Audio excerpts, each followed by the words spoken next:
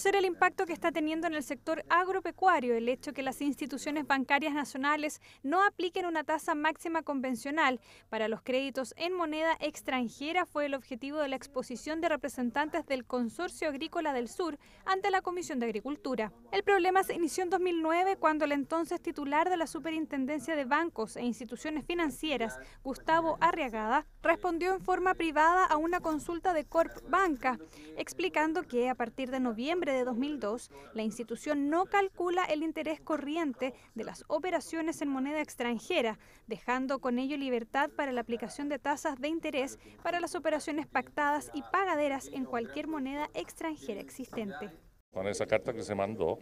eh, los bancos están cobrando sobre la máxima convencional, excepto el Banco del Estado, y puede ser que exista algún privado, creo que sí, pero en general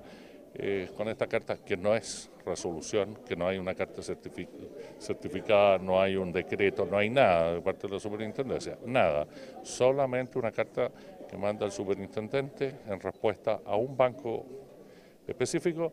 es que no existe máxima convencional en este país hoy día. Durante la sesión, los legisladores se manifestaron interesados en el tema y acordaron continuar analizándolo con la participación de los representantes de la superintendencia. A mí me parece que no corresponde, lo hemos dicho en todos sus tonos acá, esperamos la presencia del superintendente eh, y lamentablemente no vino, esperamos, ¿no es cierto?, poderlo tener el día 20 de, de diciembre para aclarar toda la situación. O sea, hoy día no es posible que no tengamos una tasa máxima convencional en dólares. Y esto significa, ¿no es cierto?, que gran parte de los agricultores, yo diría fundamentalmente medianos que están ocupando esta, esta, esta tasa o estos créditos, ¿no es cierto?, en, en dólares, no están resguardados por algo que nosotros creemos que es obvio, que es la tasa máxima convencional que operaría, debería operar para todos los créditos chilenos oficiamos y vamos a pedir primero al Banco Estado, que es el único banco que cumple la tasa máxima convencional, que nos explique cuál es el argumento jurídico del por qué aplicarla, por qué mantenerla, por qué respetarla. Eh, hemos oficiado a la Superintendencia de Bancos para saber cuántas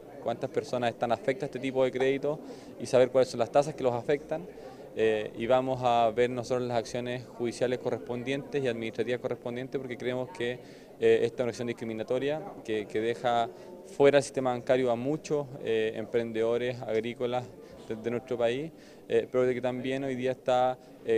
generando un costo administrativo y financiero a esas mismas personas con estas tremendas tasas. En esta sesión también se revisó la situación de crédito de los micro y pequeños agricultores, recibiendo para ello representantes de Banco Estado. Desde la institución señalan que se emplea un modelo de atención focalizado que pasa por la habilitación de ejecutivos especialistas en terreno y pautas de evaluación agrícola. Además considera una oferta de valor integral ajustada al ciclo agrícola, un trabajo con el sector público y privado y coordinación con organizaciones campesinas y asociaciones gremiales.